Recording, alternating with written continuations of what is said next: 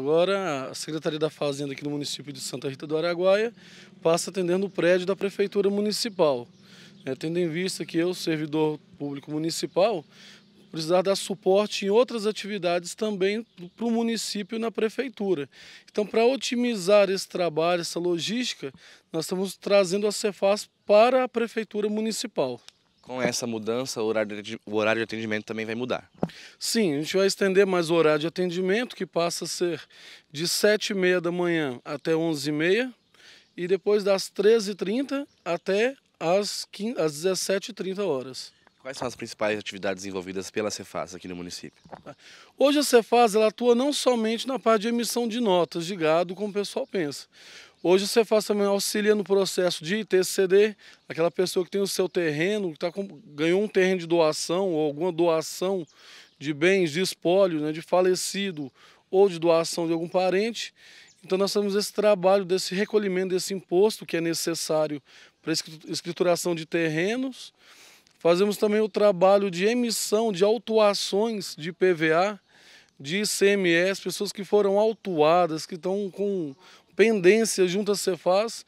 Nós fazemos também esse trabalho de orientação, como que ela pode fazer para sanar essas pendências, como que ela pode renegociar, quais os caminhos que ela precisa seguir.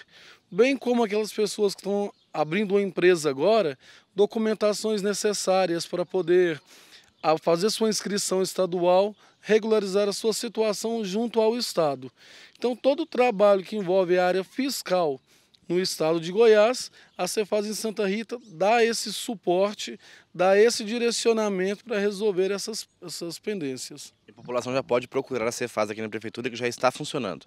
Já está funcionando, hoje estou atendendo aqui na prefeitura, pode procurar na recepção ali com a DENID ou também no pré, na sala do, da comissão de pregão e licitação, onde eu vou estar dando suporte também e continuamos com o atendimento normal, né? A toda a comunidade, a todos que necessitarem, pode vir aqui à prefeitura, nos procurar, estaremos à disposição para poder estar ajudando no que for necessário. E existe algum telefone para contato também?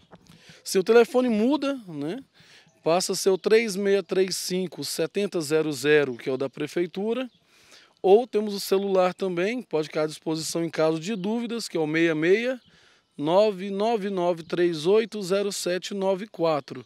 Qualquer dúvida, qualquer questionamento, qualquer coisa que seja necessário, estamos à disposição nesses dois meios de, de comunicação.